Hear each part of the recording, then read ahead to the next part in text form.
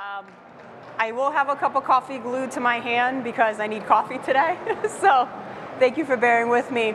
As Adrian said, my name is Valerie Delva. I lead data AI ML strategy and solutions for healthcare and life sciences.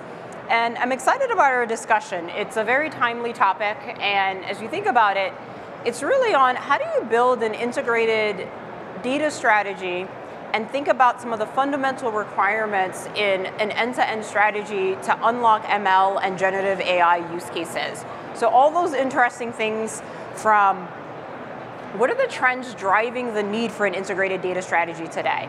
Um, we know that a key theme in things that we're hearing is that data is your differentiator for generative AI. So I want to go through exactly what does that include, what does that mean, First, I'm going to talk about challenges and opportunities in the space, and then the key components that go into building a data strategy. We'll also discuss the AWS Health portfolio for data. So really thinking about our fit for purpose services and products that we have around data, AI, and ML. Um, also looking at what are some of the partner offerings and solutions that we have that support that as well. Um, before we start though, I'd like to take a step back and have everyone think about this question that you see on the slide here. Um, keep it in mind as we go throughout this discussion. How can we together scale and accelerate the future of health?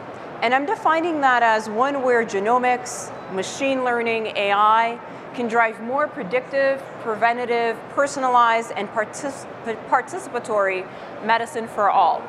I very much believe that a lot of the things that we'll talk about today We'll make this progress not in 20 years or 10 years, but right now. We have a real opportunity to think a bit differently about how do we define health and wellness and how do we leverage the power of health and AI, uh, data and AI to do that. So let's dive in. So I want to start with some trends. Over the past several years, we've noticed that there are four, four or so trends that have created both new challenges and new opportunities for how healthcare and life sciences organizations in terms of how you create, store, and use data. Um, and until quite recently, you couldn't easily address many of these challenges or leverage these opportunities with the technologies available today. So the first one, and this may not be, be too different to some folks, but it's a familiar one. Many of you have been asked to greatly speed up the discovery and development of new therapies it now takes almost a decade, about nine years and $3 billion to develop a new therapy. In addition to that, think about the tremendous patient impact, the time, and also how economically unsustainable that is over time. That's how we're developing medicines. But all of this means, if you think about it, you need to make better use of the data to speed up early research, clinical development, and clinical trials, and you have to prove efficacy to different bodies such as payers, including through the use of real world data. So the first challenge that you see here, it's really thinking about how do you find and use data faster while at the same time reducing costs. So the second one, the volume and complexity of data are both exploding. So for example, if you're in life sciences, your labs can now generate multiple terabytes a day from newer assays like cell painting, RNA sequencing, and cryo-EM. Yet, and this is a stat that I think we've all heard quite a few times, 97% of the data generated today goes unused because it's not stored in a manner that makes it easy to find, use, or make actionable. Plus, scaling up storage for these data types would be hard enough if they were all the same type of data, but they're not. They're often in different uh, modalities as you see here on the right. So now, as we continue with these observations, another trend that we're seeing is that every year, a growing percentage of new therapies that reach the market originated in some form of collaboration between a biopharma company and a third party such as a startup, a university lab, or a population research partner, for example. More than 50% of drugs that are launched today originate from such partnerships. Think about that, more than half. So challenge number three is, how do you more efficiently discover what data your collaborators have that you're allowed to access, and then make appropriate use of that data? So this all means you need powerful tools for data cataloging, uh, data governance, and data sharing. And that's an area I'm going to spend a bit more time on in a little bit. So the fourth one, and I, Adrian, when he introduced me, called this out. Do you remember the fourth challenge? Uh, generative AI. It's an opportunity, it's a challenge, it's a buzzword, it's what we're all talking and thinking about. And for a quick definition, think of generative AI for those uh, who are unfamiliar as a type of artificial intelligence that allows you to create new content and ideas, uh, whether that's conversations, stories, images, videos, even music. The promise of generative AI in healthcare and life sciences is vast. Um, it has the potential to accelerate innovation. Uh, it can increase efficiencies across the healthcare and life sciences value chain. However, in addition to uh, efficiently managing large volumes of data for such models, there are important considerations that all organizations, especially if you're in healthcare and life sciences, need to consider. So with patient data and proprietary data, you must address keeping the data private and confidential and used in a secure manner and ensuring only the right access and controls to it.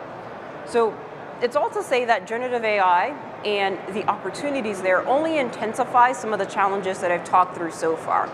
So I do want to take maybe a couple of more minutes to talk about, well, what do you need to think about when it comes to generative AI plus data? The first thing to keep top of mind is, and I'm going to put my coffee down because I get excited about this part. Data is the difference between a generic generative AI application and one that knows your business, your patients, uh, your workforce deeply. So every company at some point can have access to the same foundation models. But companies that will be successful in building generative AI applications with real business value are those that are doing so with their own valuable data and assets. And the companies who have not yet found ways to effectively harmonize and provide ready access to their data will be unable to, for example, fine tune generative AI to unlock uh, the transformative uh, potential it has in healthcare and life sciences. Uh, this is incredibly relevant for healthcare and in life sciences when you think about um, where data and the use cases are so specialized. The amount and types of data are growing exponentially. If you think of just genome data alone, it's predicted and expected to reach 40 exabytes, not tera, exabytes in the next 10 years. The other point I want to make is that generative AI does not promise instant insights. People think of, I go from data to a model to insights that will work. Um, the key to delivering healthcare and life sciences use cases with impact is quality data. So if you're trying to get to insights, it matters the type of data you're bringing in um, and how relevant it is to your use case.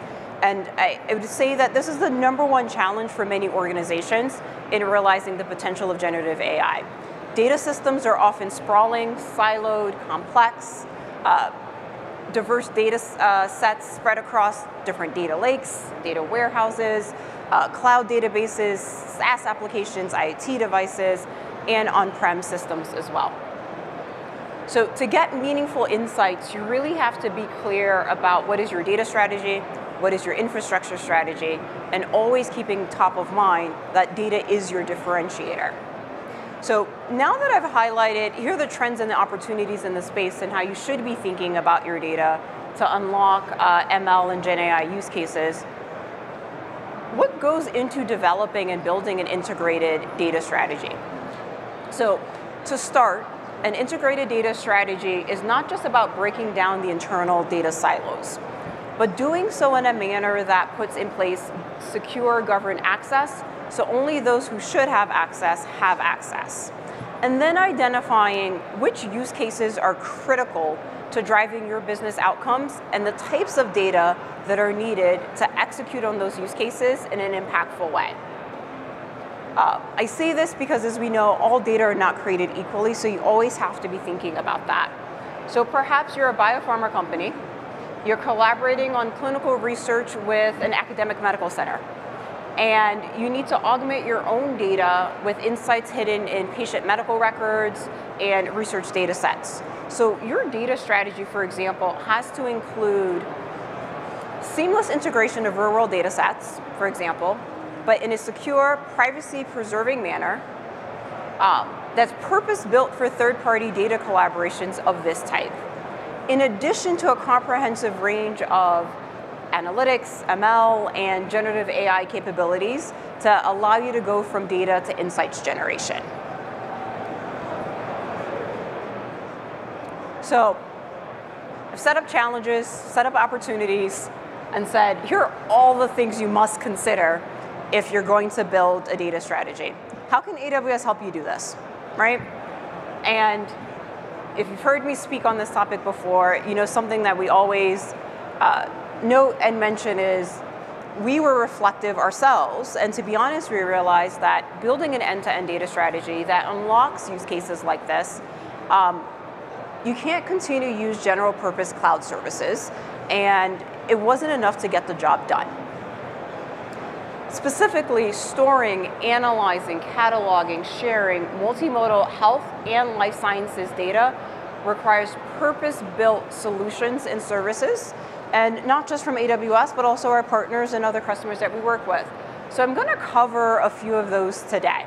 Um, we have many other sessions at reInvent where we'll dive uh, deeper into them, but I want to highlight some of our core services, but also talk about some of the newer features that we have upcoming.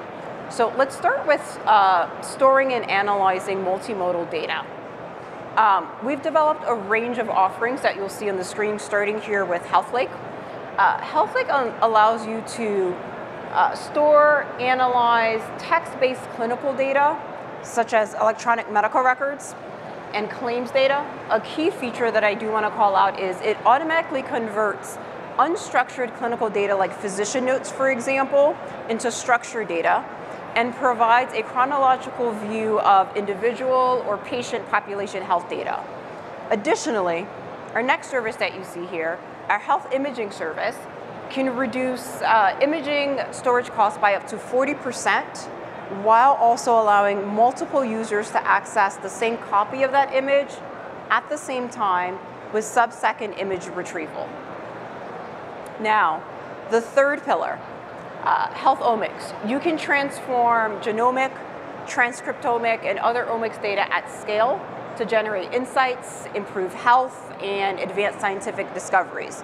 Um, and perhaps the most important of all is all of these services can make their data available in, uh, for analytics and machine learning in a matter of minutes. So not just as separate data types, but in a multimodal manner. Finally, on the right, the thing that I'll call out is HealthScribe, a newer service that we just announced HIPAA eligibility for um, less than 10 days ago. Uh, it, em it empowers healthcare software vendors to automatically generate transcripts, summarize notes, clinical insights by analyzing patient-clinician conversations um, in their clinical applications. So now let's talk about data collaborations and specifically cataloging, linking, and accessing data. So across all teams in research and clinical development, for example, Users often start with three questions, and I get these three questions all the time. Who is the data that I need? Am I allowed to access it? And if all those things are true, is it in a format or stored in a manner that makes it useful?